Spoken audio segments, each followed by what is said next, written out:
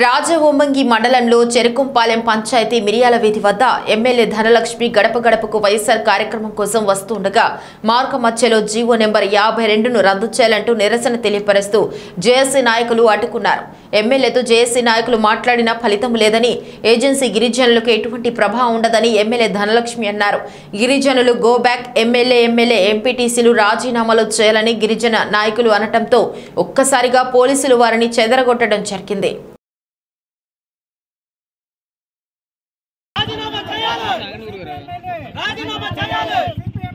రాజీనామా చేయాలి. రాజీనామా చేయాలి. రాజీనామా చేయాలి. రాజీనామా చేయాలి. నశించాలి నశించాలి నశించాలి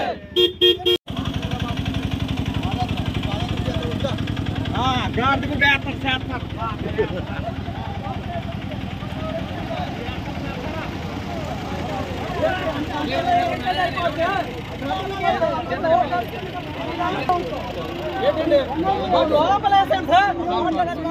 లోపలేసండి. ప్రజలకి సమాధానం చెప్పలేనటువంటి ఎమ్మెల్యేలు ఇలాంటి కూడాను. ఏ కార్యక్రమాలు చేసేసుకుంటే కన్నా ప్రజలకు ఏదైనా చేసేస్తారు నోరు నొక్కేసి.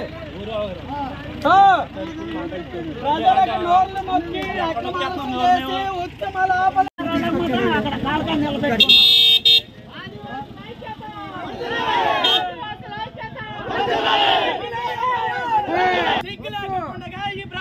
పగిస్తూ ఆదివాసీ ప్రజల కోసం ఏ మాత్రం కూడా మాట్లాడలేనటువంటి.